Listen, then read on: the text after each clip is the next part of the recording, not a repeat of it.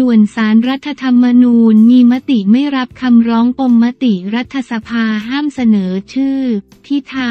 โหวตนายก รอบสองสารรัฐธรรมนูญมีมติเป็นเอกฉันไม่รับคำร้องปมมติรัฐสภาห้ามเสนอชื่อ พิธาโหวตนายกรัฐมนตรีรอบสองเมื่อเวลา 9 นาฬิกา 30 นาที วันที่ 16 สิงหาคม 2566 ผู้สื่อข่าวรายงานว่า คณะตุลาการศารรัฐธรรมนูญได้ประชุมเพื่อพิจารณากรณีผู้ตรวจการแผ่นดินขอให้ศารรัฐธรรมนูญวินิจฉัยตามรัฐธรรมนูญ มาตรา 213 กรณีรัฐสภามีมติตีความว่าการเสนอชื่อ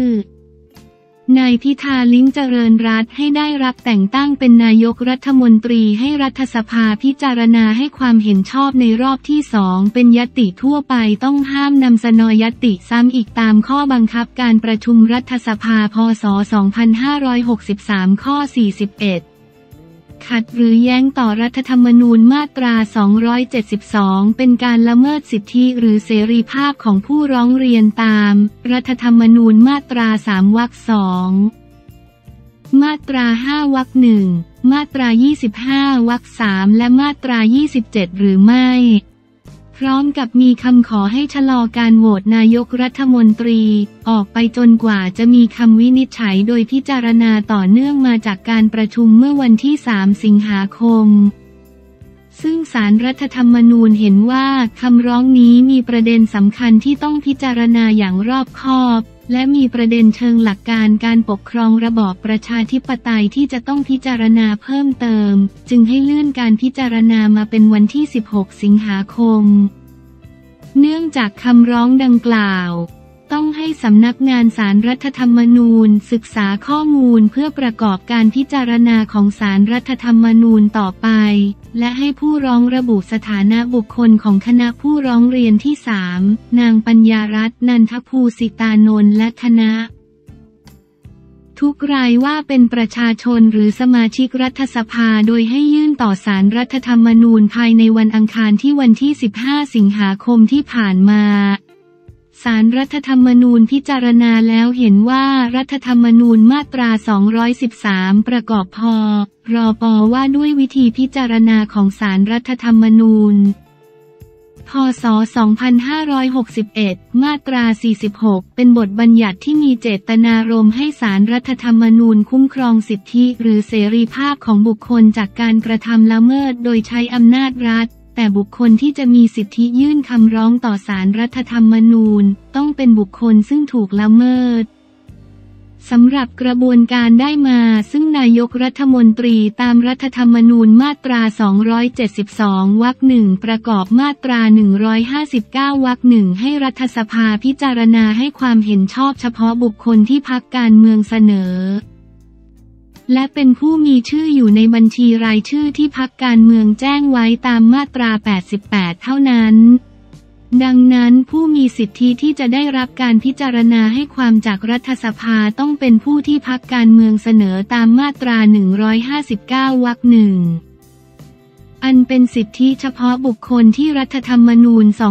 2560 เมื่อผู้ร้องเรียนทุกคนไม่ใช่บุคคลที่ทางพักการเมืองแจ้งรายชื่อว่าจะเสนอรัฐสภาเพื่อพิจารณาให้ความเห็นชอบแต่งตั้งเป็นนายกรัฐมนตรี ทั้งไม่ได้เป็นบุคคลที่พักเสนอชื่อต่อรัฐสภา ผู้ร้องเรียนทุกคนจึงไม่ใช่บุคคล ซึ่งถูกละเมิดสิทธิหรือเสรีภาพ โดยตรง ไม่อาจใช้สิทธิยื่นคำร้องได้ตามรัฐธรรมนูญ มาตรา 213 กรณีไม่ต้องด้วยหลักเกณฑ์ วิธีการและเงื่อนไขที่บัญญัติไว้ในพรปว่าด้วยวิธีพิจารณาของสารรัฐธรรมนูญ มาตรา 46 วรรคหนึ่งประกอบมีช่องทางการยื่นคำร้องที่บัญญัติไว้ในรัฐธรรมนูญเป็นการเฉพาะแล้ว ดังนั้นผู้ร้องไม่อาจยื่นคำร้องดังกล่าวตามรัฐธรรมนูญ มาตรา 213 ได้สารรัฐธรรมนูญเป็นมติเอกฉันมีคำสั่งไม่รับคำร้องไว้พิจารณาวินิจฉัย เมื่อมีคำสั่งไม่รับคำร้องไว้พิจารณาแล้ว คำขออื่นย่อมเป็นอันตกไป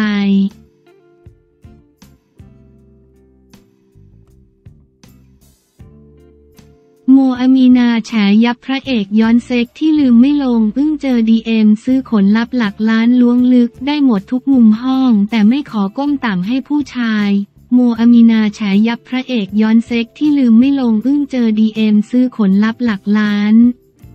สุดจัดเมื่อ โมอามีนาพินิษบุกมารายการแย่งซีนทาง YouTube ช่อง 8 ใน EP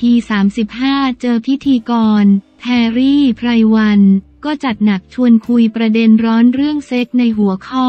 ประสบการณ์มีเซ็กซ์ที่ไม่มีวันลืม งานนี้สาวโม ก็เปิดประเด็นเล่าประสบการณ์ติดเซ็กซ์ชนิดที่ว่ามีต่อเนื่องแบบได้เรื่อยๆ แถมเคยถูก DM ซื้อขนลับหลักล้านพร้อมลั่นถ้าให้เลือกผู้ชายและสาวหล่อขอการันตีเลยว่าสาวหล่อช่ำกว่าแชร์คนในวงการหนึ่งคนโดยไม่ต้องเอ่ยชื่อ แต่เป็นเรื่องเกี่ยวกับเขาและคนไม่เคยรู้มาก่อนบ้าง เป็นนักแสดงคนหนึ่งที่เป็นผู้ชายและเรารู้สึกว่าพอร่วมงานด้วยแล้วมองเห็นเลยว่าน้องคนนี้อยู่ในวงการได้ไม่นานหรอก คือเราไม่รู้ว่าเราหน้าเด็กหรือว่าอะไรแต่คนที่อยู่ในวงการต้องมีสัมมาคารวะ แต่มีเด็กอยู่คนหนึ่งที่ ทักทายด้วยการจับมือและบอกกับเราว่า ยินดีที่ได้ร่วมงานกันนะครับ เราเลยถามเขาว่าเป็นลูกครึ่งเหรอ เขาตอบกลับว่าเป็นคนไทยและเรียกเราแค่ชื่อโม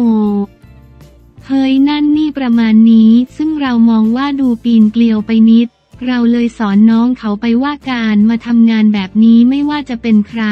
แก่หรือเด็กเราต้องไหว้เขานะ ซึ่งเราก็ทำได้เพียงเตือนเขาในวันนั้น ซึ่งเป็นพระเอกด้วยนะ หัวเราะ ที่โมคิดว่าตัวเองเป็นคนเซ็กจัดมากไหม ไม่เคยตอบที่ไหนเลยนะ จะบอกว่าช่วงที่หมดประจำเดือนใหม่ๆ ช่วงนั้นคือยาวได้เลย ถ้าความเซ็กจัดให้เต็มสิบคะแนน เราจะจัดให้ตัวเองอยู่เศษเจ็ดส่วนเจ็ดคะแนน เพราะเราเป็นคนมีได้เรื่อยๆ ไม่พักได้ที่โมมีแฟนทั้งเป็นผู้ชายและสาวหล่อถ้าต้องให้เลือกคิดว่าอันไหนเด็ดกว่ากัน สาวหล่อแน่นอนที่บอกว่าสาวหล่อคือเมื่อก่อนเราเคยคบผู้ชายก็จริง แต่ว่าเป็นคนมีกฎเกณฑ์กับผู้ชายค่อนข้างเยอะ เราไม่ลงต่ำให้ผู้ชายเลย เป็นคนกลัวหุ่นเสียมันอยู่ที่จำนวนของท่า ท่านั้นไม่ได้ทุกอย่างคือจบที่ท่าธรรมดา อันนี้อยู่ในส่วนของผู้ชาย ถ้าเป็นทอมอะลงต่ำให้ฉ่ำมาก หัวเราะพี่โมเคยมีประสบการณ์มีเซ็กซ์ที่ไม่มีวันลืมบ้างไหม ก็มีนะคะนี่คือเรามีความสุขไปกับมันและก็สนุกด้วย แต่ถ้าเรื่องที่ไม่ประทับใจคงเป็นเรื่องกลิ่นตัวและก็กลิ่นปากค่ะ พี่โมคิดว่าแบบพี่โมอาจชอบ indoor หรือ outdoor กว่ากันฉันเคยมีน้องที่รู้จักคนหนึ่งเล่าให้ฟังว่าไปมีอะไรที่รถมา เราก็ถามต่อที่รถคือยังไงในรถเหรอ ไม่กลัวแม่ย่านางเขาด่าบ้างหรือยังไง เราก็บอกไปแบบนั้นเขาสวนเรากลับมาเลยว่าไม่ใช่นะ หนูไปยืนนอกรถกัน ซึ่งรสนิยมคนไม่เหมือนกันอยู่แล้ว แต่อย่างเราคือในพื้นที่ดีกว่าคือจะรอบห้องก็ได้ แต่ไม่ใช่ระเบียงหรือในรถอะไรประมาณนี้อะค่ะ ถ้ามีแฟนเคยเปอะไรแฟนหนักๆบ้างไหมอะอย่างเรามีแฟนเป็นคนที่เปหนักมากนะ มักจะเปตามวันสำคัญหรือในโอกาสต่างๆ เช่น วันเกิดวันครบรอบทั่วไป คือไม่ได้สุรุ่ยสุร่ายที่เปขนาดนี้คือจริงๆ เป็นคนทำงานบ้านไม่เป็น ดูแลใครก็ไม่เป็นด้วย แต่เรารู้สึกว่าเราให้อะไรเขาได้ เราก็อยากมอบให้เขามากกว่า ซึ่งเคยที่ให้และพิเศษที่สุดคือช่วยเขาดาวรถ ราะยังไงอนาคตก็ต้องไปด้วยกันอะไรที่ช่วยเหลือกันได้เราก็ช่วย พี่โมเคยเป็นเด็กเสียจริงไหม ไม่จริงเลย แต่เคยมีคนมาขอซื้อขนเพชรคือ DM มาเลยว่าขอจำนวน 7-8 เส้นในราคาเท่านี้ และก็มีบางคนส่งขนาดอวัยวะเพศของตัวเองมาให้ดู แล้วก็เป็นวิดีโอนั่งยองๆเพื่อช่วยตัวเองอยู่ และก็มีแบบทักมาถามราคาเราถ้าจะนัดกินข้าวและก็ขึ้นห้องกี่ล้าน ประมาณนี้ เราทำเพียงแค่ลบข้อความไปไม่ตอบค่ะ ยิ่งตอบยิ่งไปเล่นด้วย มันจะยิ่งมากความค่ะ ได้ข่าวว่าพี่โมจะเข้าร่วมโปรเจกต์นางร้ายไทยแลนด์ มีที่มาที่ไปยังไงบ้าง จริง ๆ project นี้ได้มีการคุยกันมายาวนานตั้งแต่ปลายปีที่แล้วหล่ะ ว่าจะมี project นี้เราจะต้องเป็น Queen Master จะมีผู้เข้าประกวดเข้ามาแล้วเราจะทำหน้าที่เลือก เหมือนเลือกทีมคอย train คอยสอนน้องๆ ในการเป็นนางร้ายว่ามันจะต้องเป็นยังไง character ยังไงบ้าง ซึ่งจะมี Queen Master ทั้งหมด 3 คนได้แก่เบนปุญญาพร แก้มบุ๋มปรียาดาและอีกหนึ่งในนั้นคือเราซึ่งจริงๆ ที่ตกลงรับคือตั้งแต่โมอยู่ในวงการบันเทิงมา โมเล่นแต่นางร้ายไม่เคยได้เป็นนางเอกเลย เพราะฉะนั้นด้วยประสบการณ์แล้วเรามั่นใจว่าในแง่มุมของการเป็นนางร้ายเราค่อนข้างมั่นใจ และมันก็ชัดเจนอยู่แล้ว ซึ่งเคยมีคนติดต่อให้เป็นนางเอก แต่เราปฏิเสธไป เพราะแค่ทำหน้าหน้าสงสารก็ทำไม่เป็นแล้วอะ สำหรับใครที่สนใจอยากสมัครยังเปิดโอกาสให้สมัครได้อยู่เรื่อยๆ สามารถติดตามกติกาและเงื่อนไขต่างๆ ได้ที่ที่เพจ Facebook นางร้ายไทยแลนด์และทุกแพลตฟอร์มของช่อง 8